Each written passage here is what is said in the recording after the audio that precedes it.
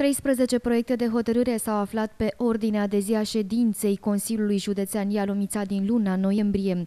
Aprobarea rectificării bugetului general al județului Ialomița pe anul 2021, stabilirea salariilor de bază pentru funcționarii publici și personalul contractual din cadrul aparatului de specialitate al Consiliului Județean Ialomița și al Direcției Județene de Evidență a Persoanelor Ialomița, asocierea județului Ialomița cu Asociația Națională a Veteranilor de Război din România, filiala Ialomița, în vederea finanțării în comun a proiectului privind omagierea cu ocazia Zilei Naționale a României a veteranilor de război cu domiciliul în județul Ialomița au fost câteva dintre proiectele discutate de consilierii județeni. Vă supun la vot procesul verbal al ședinței anterioare. Cine este pentru?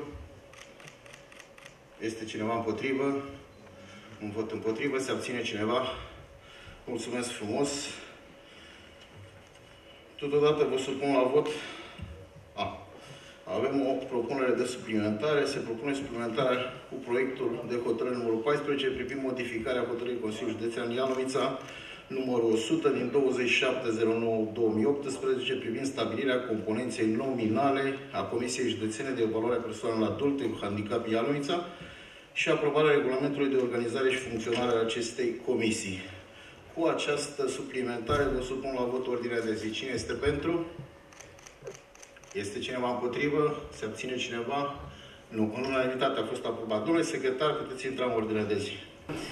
Deschidem ordinea ședinței noastre de astăzi cu un proiect de hotărâre privind aprobarea organigramei și a statului de funcție al Direcției Generale de Asistență Socială și Protecția Copilului Ialomița. La anexa 1 din cadrul proiectului de hotărâre este prevăzută organigrama instituției. La anexa 2, statul de funcție al acestei instituții, cu precizarea că Uh, nu se modifică numărul total de funcții uh, aprobate anterior, rămâne același de 646 de posturi. Vă mulțumesc frumos. Cine este pentru? Este cineva împotrivă? Se abține cineva? Nu. Unanimitate a fost aprobat. Următorul proiect, domnule secretar. Al doilea proiect de hotărâre propune plenului aprobarea rectificării bugetului general al județului Ialomița pentru anul 2021. Uh, la venituri suma propusă este de 327 de milioane 943 de mii 400 de lei, la cheltuieli fiind de 417 milioane 371 de mii 400 de lei, având un deficit de 89 de milioane 428 de mii de lei, care este acoperit din excedentul bugetar al anului precedent.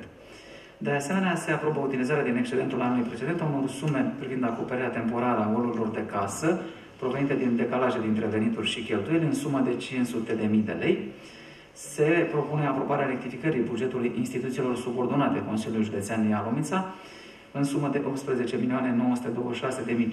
de lei la venituri și 18.949.500 de lei la cheltuieli, cu un deficit de 23.000 de lei care se va acoperi din excedentul bugetar al anului precedent. Mulțumesc frumos! Cine este pentru? Este cineva împotrivă? Se abține cineva? Nu. Aprobat în unanimitate. Următorul proiect? Al treilea proiect de hotărâre propune stabilirea salariilor de bază pentru funcționarii publici și personalul contractual din cadrul aparatului de specialitate al Consiliului Județean Ialumița, prevăzut la anexa 1, respectiv al Direcției Județene de Evidență a Persoanelor Ialumița, potrivit anexei 2 la proiectul de hotărâre. Mulțumesc frumos, stimați colegi! Cu siguranță ați discutat acest aspect la comisii. Am considerat că eu împreună cu colegii mei, este momentul să facem o mică ajustare, o mică indexare, o mică majorare, cum vreți dumneavoastră, la ceea ce înseamnă veniturile colegilor noi, noștri din cadrul Consiliului Județean. Și probabil că ați observat că am încercat ca celor care sunt asistenți și debutanți și care termină, care ies de băncile facultății și își doresc să facă o carieră în administrație, să devină un pic mai atractivă uh, angajamentul acesta de funcționar public în uh, cadrul Consiliului Județean Ianoviță. După cum ați observat și dumneavoastră, discutăm de majorare la ceea ce înseamnă asistenți și deputați cu 14%, la principal cu 10%, la superior, nu, cu 12% la principal, 10% la superiori, 7% cred la șef serviciu și 5% la directori nu intră în această hotărâre de majorare a salariilor administratorul public și cabinetul președintelui. Bun. Cine este pentru? Este cineva împotrivă? Se abține cineva? Mulțumesc. În unanimitate a fost aprobat. Următorul proiect. Următorul proiect de hotărâre propune plenului aprobarea stabilirii salariilor de bază pentru personalul din cadrul instituțiilor publice din subordinea Consiliului Județean Ialomița. La anexa numărul 1 avem uh, salariile propuse a fi stabilite pentru Direcția Generală de Asistență Socială și Protecția Copilului Ialomița. În anexa numărul 2 sunt două posturi uh, existente la Spitalul Județean de Urgență din Slobozia, acela de preot și acela de garderobier, care nu se regăsesc în grad de salarizare potrivit legii 153 din 2017 și încă de la apariția acestei legi s-au stabilit salariile prin hotărâre de Consiliu Județean. Și totodată, uh, la articolul 3 din hotărâre, uh, certificăm faptul că, potrivit uh, aceleași legi 153 din 2017, pentru instituțiile de cultură, de GASPC, dar nu aparatul de specialitate și pentru Spitalul Județean de Urgență Slobozia, se vor aplica grilele de salarizare stabilite în legea 153 din 2017 pentru anul 2022. Mulțumesc frumos. Cine este pentru? Este cineva împotrivă? Se abține cineva? Nu. În unanimitate a fost aprobat. Următorul proiect? Următorul proiect propune acordarea unor măsuri de sprijin de natură financiară menite să încurajeze familiile adoptatoare în ceea ce privește adopția unor copii din alte județe decât cele ale adoptatorilor. Proiectul de hotărâre survine ca urmare unei modificări legislative la legea adopției și se propune ca pentru a acoperi aceste cheltuieli de transport și de cazare realizate de către persoanele adoptatoare din județul Ialomița care doresc să adopte copii uh, aflați cu domiciliu în alte județe, pentru a realiza procedura potrivirii copilului respectiv cu adoptatorul, se va acorda o sumă de 200 de lei pe zi de persoană pentru o perioadă între 6 zile și maxim 8 zile de persoană. Sumele respective vor fi plătite din bugetul DGASPC Ialomița în termen de maxim 45 de zile de la data rămânerii definitive a hotărârii uh, judecătorești de încuvințare a adopției. Mulțumesc frumos. Cine este pentru? Este cineva împotrivă? Se abține cineva? Nu. În unanimitate a fost aprobat. Următorul proiect? Următorul proiect de hotărâre propune asocierea județului Ialomița cu Asociația Națională a Veteranilor de Război filiala Ialomița în vederea finanțării în comun a proiectului privind omagierea cu ocazia Zilei Naționale a României a veteranilor de război cu domiciliul în județul Ialomița. Se propune realizarea acestui contract de asociere între județ și Asociația Veteranilor de Război, Contumul cheltuielor pe care județul le va suporta cu această ocazie va fi de 40.000 de lei, reprezentând 99,6% din valoarea proiectului. Practic, Consiliul Județean va aborda premiile în bani pentru veteranii de război. La momentul acesta mai sunt 16 veterani de război cu domiciliu în județul Ialomița, potrivit datelor comunicate de către Casa Județeană de Pensii, iar Asociația Veteranilor de Război va oferi diplomele pentru acești beneficiari, acești bravi eroi care au luptat pentru, pentru țară. Mulțumesc frumos! Sunt sigur că v-a convins domnul secretar general. Este un gest pe care Consiliul Județean l-a făcut, cred că în ultimii patru ani. Uh, cine este pentru? Este cineva împotrivă? Se ține cineva? În unanimitate a fost aprobat. Următorul proiect de hotărâre propune solicitarea adresată municipiului Slobozia în vederea trecerii unui teren imobil din proprietatea publică a municipiului Slobozia în proprietatea publică a județului Ialovița.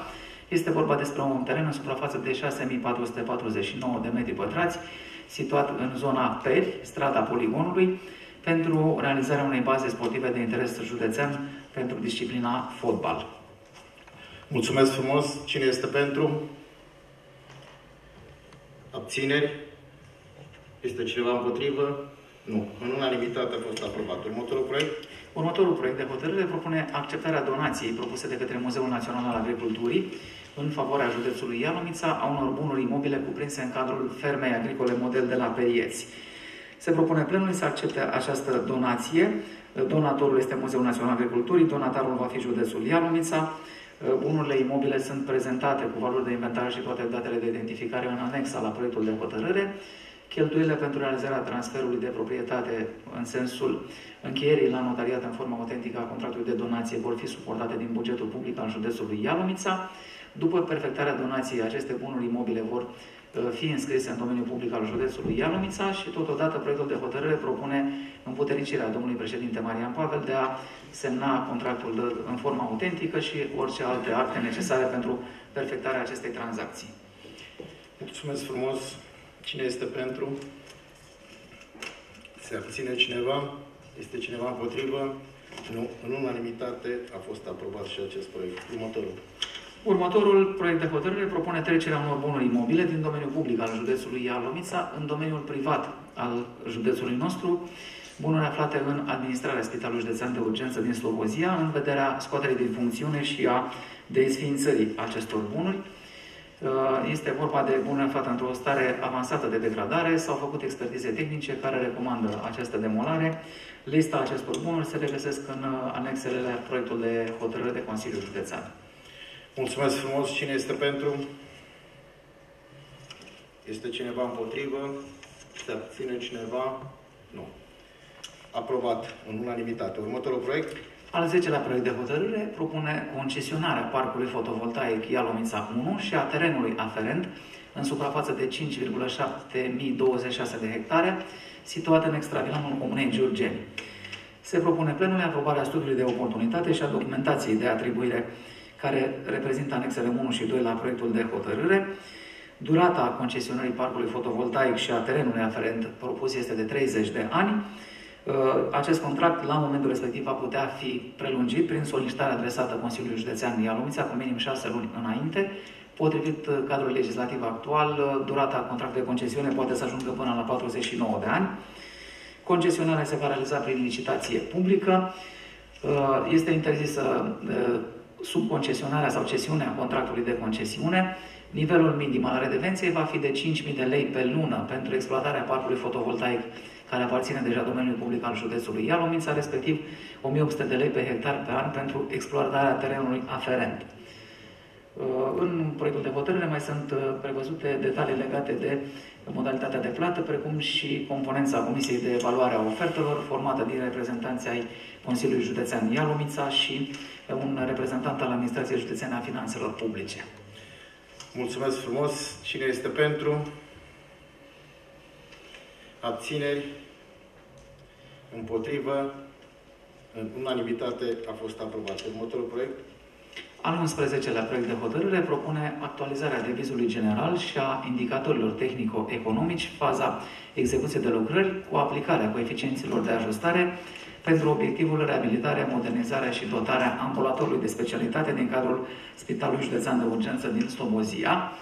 Acest proiect este finanțat pe fonduri europene. Uh, indicatorii tehnico-economici propuși a fi actualizați duc la o valoare totală a investiției de 20 de milioane 432.901 lei cu TVA, din care 17 milioane 332.000 de lei pentru construcții montaj, perioada de execuție fiind de 24 de luni.